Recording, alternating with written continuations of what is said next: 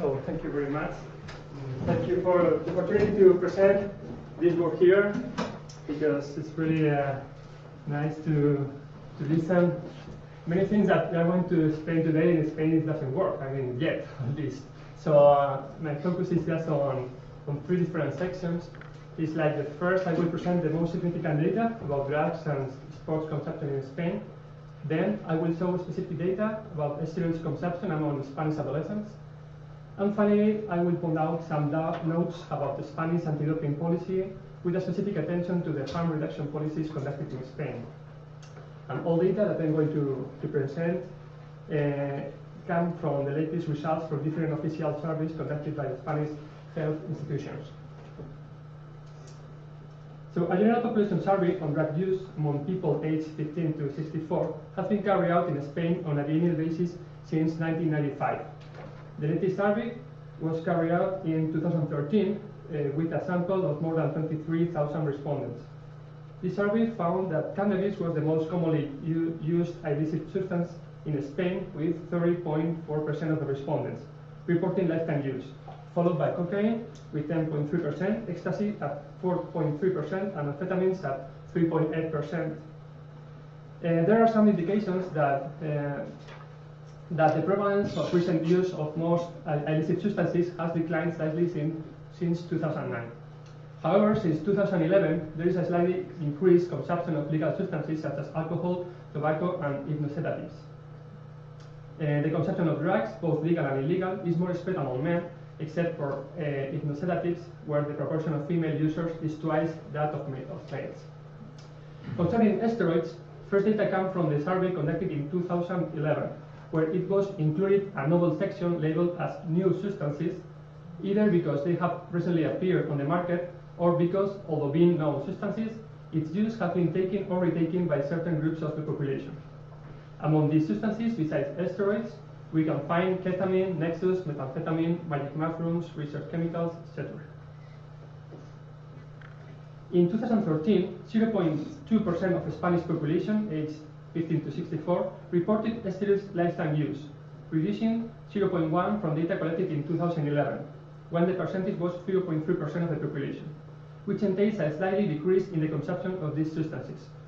If we pay attention to this figure, we can see that this reduction was specifically significant in an age range between 25 to 34, descending from 0.6 in 2011 to 0.2% in 2013. As regards gender, the percentage of steroid users among men is higher than among women. However, this figure shows that there is a reduction of male users descending from 0.5% in 2011 to 0.3% in 2013. Meanwhile, female consumers have remained stable at 0.1%. If we consider just young people, a national survey on drug use among students aged 14 to 18 has been conducted every second year in Spain since 1994, alternating with the above mentioned survey that is conducted with general population. The most recent was conducted in 2014, and the results show that the most commonly used uh, illicit drug was cannabis with lifetime prevalence of 29.1%, which, contrary to the results of general population studies, indicates a reduction in experimental use as compared to previous studies since 2004.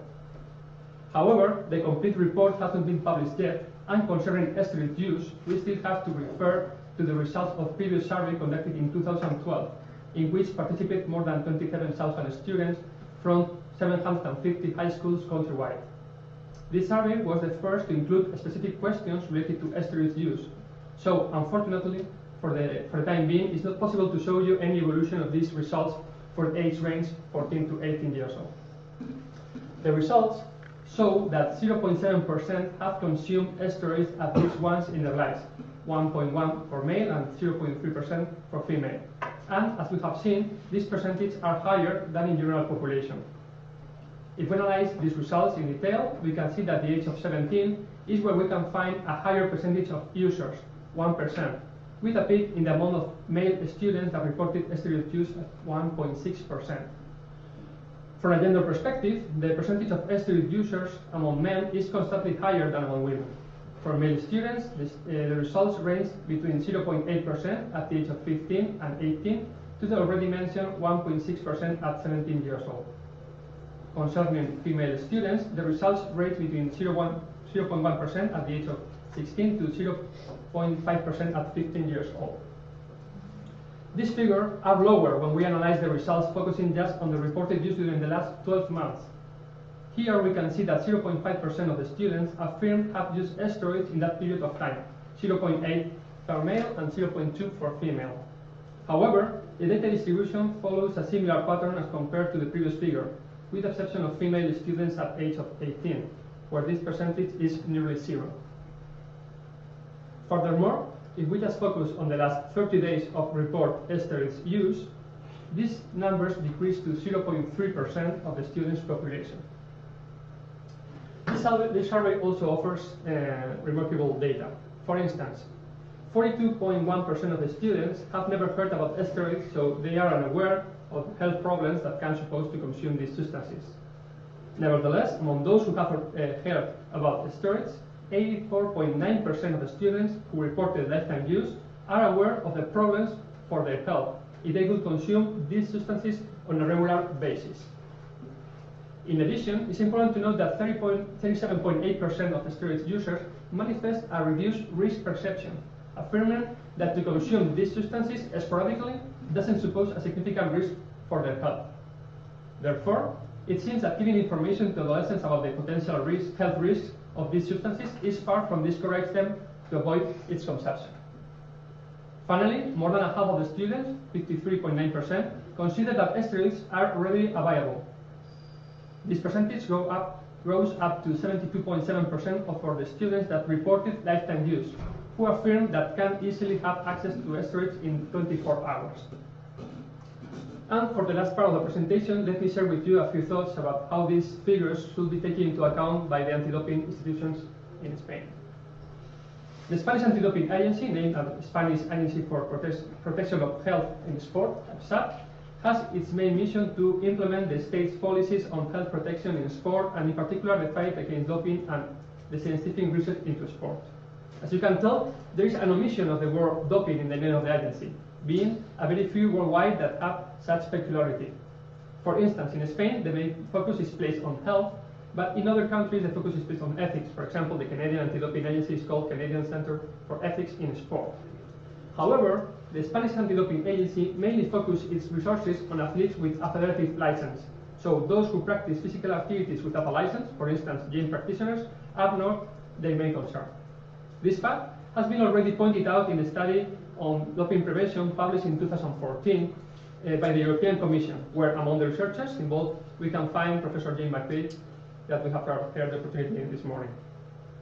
This study is right when it affirms that in Spain, doping prevention in recreational sport is considered neutral because although anti-doping policies are applicable to all athletes, that is, elite, low-level competitive and fitness athletes, most rules apply only to practitioners with a federative license. Therefore, when rules and prevention programs are mainly focused on ethics or fair and fair play, it could be less effective with populations without a federative license where competition is in a second place. In addition, information campaigns about health risk, in this slide you can see an example of one of the guides distributed in Spain, doesn't seem to be enough to discourage steroid users, as we have seen based on the result of the Spanish survey. It could be a harm reduction approach more effective. I think that this topic should be considered. Concerning harm reduction policies, Spanish health authorities explain in the official reports that the reduction of drug-related risk and harm is one of the principal objectives of the National Drug Strategy for 2009 to 2016 period. Particular focus is given to the activities that facilitate contacts with drug injectors, provide information and education, and promote behavior and practice change. Latest data from 2013 point out that needle and syringe programs distributed more than 2.7 million syringes. 12 facilities of supervised drug consumption were available in the regions of Catalonia and Basque Country. In 2012, these facilities served almost 6,000 people. However, in the current national drug strategy, there is not a single word concerning sport practices. Therefore, although in the harm reduction policy, one of the target group are people who frequent environments and participate in situations where there is an easy access for consumption, these situations are described in this document as, and I quote, youth environments for entertainment such as parties or nightclubs, but no gyms or sport facilities are named. This is because although steroids are dangerous substances whose effect can be compared to other drugs, they don't have the same social treatment. Maybe one of the first myths that should be banished is that because consumption is done in gyms, it's a healthy activity. Nevertheless, it's necessary to point out that harm reduction programs started in Spain focusing just on heroin addicts in marginal situations, and little by little they are achieving to broader and more integrated sectors of the society. I hope that this tendency continues and Spain, Spanish harm reduction programs start considering new populations as image and performance enhancing drug users. If this happens, it should combine the guidance and resources of both health and anti-doping policies. However, this scenario seems to be far away yet. Thank you for your attention. Any comments or questions for Rodrigo? Yes, ask. Thank you, Rodrigo. Uh, very interesting. Um, one of the problems I, have heard often debated, and Jeff, you can probably add in on this, is that when you ask teenagers questions on steroids, do you really know if they know what they are responding to? Mm -hmm. uh, and especially when you have so such low response uh, or, or, or, confirming rates about 0.7% as you have. Mm -hmm. um, there was a study once where they included a fantasy drug in a in a questionnaire to teenagers, so it was fantasy loan or whatever it was. Mm -hmm. And what they found was that there was also 1% who had tried fantasy loan, as, so which was the same percent as has tried anabolic steroids. So when you, when you come out say, how do you interpret those data that if they don't, how do we know if they know what anabolic steroids are?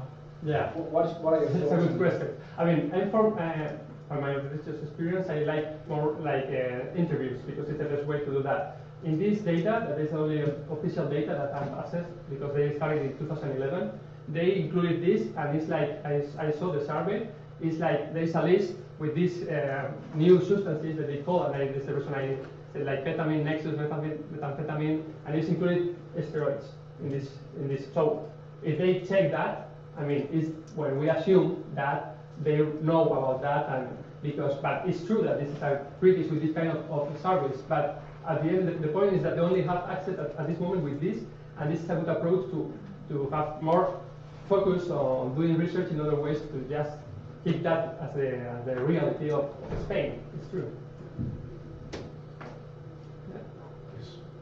Um, that, that question and the response has provided a partial preview of my talk this afternoon. Um, we, I shall also be talking about uh, results on self-reported use of anabolic steroids by adolescents in the survey. It's rather surprising that the organisers didn't put us in the same session. Uh, uh, I think exactly those uh, two points uh, came up into my mind when I saw your presentation. Um, one, does the questionnaire provide any explanation or examples of what anabolic steroids are? Mm -hmm. Mine doesn't. No. And the other is, are the anabolic steroids uh, asked about separately or simply within a list of other substances? Mm. The latter applies to Ryan. Yeah. And it also applies to you. Mm, yes, I mean, it's based, I guess that, I don't know if it's like an European way to do that, because also you can check in the European statistics and this comparison of data. And Spanish started doing that in 2011 with general population, 2012 with students, and they include like new substances. So they have to check and to and to then they assume in the explanation of the of the report that they they, they know and they check that. I completely agree that this not really it's not a it's for, uh, an idea, but it's not the reality. That we have to start with this, and I'm sure it's, it's necessary to, to do a, a deeper research in this topic because it started. I mean, for example, for this conference, I, I asked, uh, I have a, an interview with the responsible of the Spanish Anti-Doping Agency to explain the purpose of this conference, and it was like, really? so, so it's something that is, is not yet in the idea to learn, to, to have like this kind of, of things that you have in, in Finland or in Denmark. So we started, so I guess that we have many things to do yet. Yes. In the ESPAD survey, which covers most European countries, but I don't think Spain participates in it, um, steroids are not in as a new substance. They've been in at least since 1999. Mhm. Any more comments or questions? Yeah. Yeah. Um, I just feel like in the in the information before this, in the lecture theatre, and in here a little bit, and I don't know other other people might disagree, but I feel like we're kind of missing um, something in that it's great doing harm minimisation and education and information, but it feels like just like any other drug use, you know, the reasons are so multifaceted. It might be, you know, uh, trauma, dysfunction, all kind of mental health, and it feels like, especially with steroids, our young people aren't happy with themselves, and that could be for again so many different reasons, and it, almost feels like we're kind of jumping over that, and even in in the previous lecture that I just heard, steroid users are different. Well, actually, we all think that they're very different, but the outcomes are often the same, which is death, obsessive behaviours. Um, and I kind of struggle with that because I understand all kind of drug use is, is different but the same often. It's hard when you get young people already think they're very different if they go into a gym. Even when they're sharing needles, they still think they're very different than need other other drug users. And for me that kind of enables the use to carry on more because they, they keep thinking that they're different, that kind of denial mm. Side of it. So I, I just wanted to, to say that's mm-hmm. where I work, the young people that are using steroids and older people aren't actually doctors, they're people from council estates mm-hmm. that are getting bad information, getting bloodborne viruses and not even seeing that, seeing that they're in those risk categories.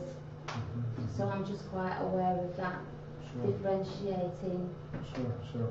elitist. Sure. I mean, I know for a fact that we are having, we are definitely having one of the main uh, presentations later on discussing about the different uh, kinds. Cultural, Yeah, Yeah. exactly, in different ways of, uh, and, and, and I agree with you uh, in, in that, you know, it was mentioned uh, sometime this morning that uh, there seems to be a lot of, uh, you know, informed use of steroids, and maybe that's true for a few people, for some people, but uh, perhaps there's a lot of uh, completely uninformed use. So, plus the different motivations that you know are, are behind it, or the different uh, backgrounds. So that's quite interesting. It's, I, I, also think it's, uh, it's, more space there to explore, definitely. I think that's the difficulty if we become fixated on substance, yeah. rather than thinking about the individuals Mhm. and the groupings and the cultural aspects of it. Because Sure. we become fixated on steroids and then it's like, oh, well, everybody who uses steroids must be informed because you must be taking this set of Mhm. decisions because you're doing it to Mhm. increase lean muscle and all of this, but actually Mhm. that might be one group of individuals and that might mimic the set of behaviours and the cultural background of individuals who use ecstasy safely or individuals who use heroin relatively safely and do so for extended periods of their life, but actually it doesn't replicate a lot of other people who have multiple complex Yeah. issues and the root causes for why they might actually be using Yeah. substances and then develop problems. And you could probably parachute in almost any substance to that, Yeah. That set of behaviours. Sure, sure. I agree. Any, any more thoughts on this one? No? Okay, so in that case, we'll wrap it up now. Uh, thanks very much, everybody,